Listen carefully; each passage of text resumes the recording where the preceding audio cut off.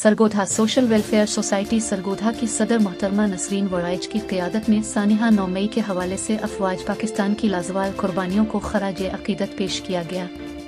इस मौके पर यादगार शहदा क्लब चौक में मुल्क के दिफा की खातिर शहीद होने वाले अफवाज के जवानों की याद में शमें रोशन की गई और शहदा की तस्वीरों पर फूलों की माला सजाई गई। इस मौके पर अंजुमन ताजरान यूनिवर्सिटी रोड के chairman Malik Abid Hussain Awan Pakistan peoples party के मेंबर पंजाब काउंसिल चौधरी मोहम्मद अजमल, मरकजी अंजुमन ताजरान जिला सरगोधा के general secretary Sheikh Naeem Aslam Kapoor, secretary इतलात Anjuman ताजरान Naeem Sarwar Bisra, सदर ब्लाक नंबर दो मियाँ इमरान, सदर fashion market Haji Ghulam Akhtar Bhatti, Pakistan Muslim League Noon labour wing Sargodha division के सदर Qazi Tauseef Ahmad Awan, city सदर सबक UC vice chairman Malik Mohammad Ramzan, Mian Saleem advocate chamber of commerce and industry के रहनुमा Zahid Chauhan Sargodha union of journalist के सदर Sheikh Mohammad Rizwan member F E C P federal union of journalist Nasir Qureshi Raja Abdul Hafeez Chaudhry Mohammad Ejaz Ahmed Mudassar Abbas Pasha समेत दीगर ने भरपूर शिरकत की।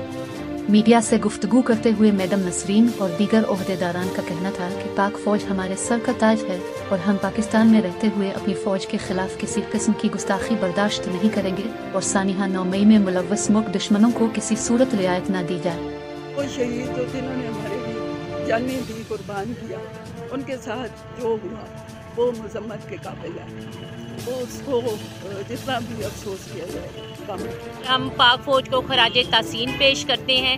हम लोग सब अपने घरों में आराम से सो रहे होते हैं। मगर पाक फौज दिन रात अपनी फैमिलीज़ को अपनी सारी चीज़ों को पीछे करके हमारी हिफाजत कर रही होती है। और हम उनके सर पे अपने मुल्क में बड़े आराम से बड़े सुकून से रह रहे हैं। आखिर में चौधरी मोहम्मद अजमल ने मुल्क की अमन सलामती के लिए पाक अफवाज के शहदा के लिए खसूसी दुआ भी कराई। the boat.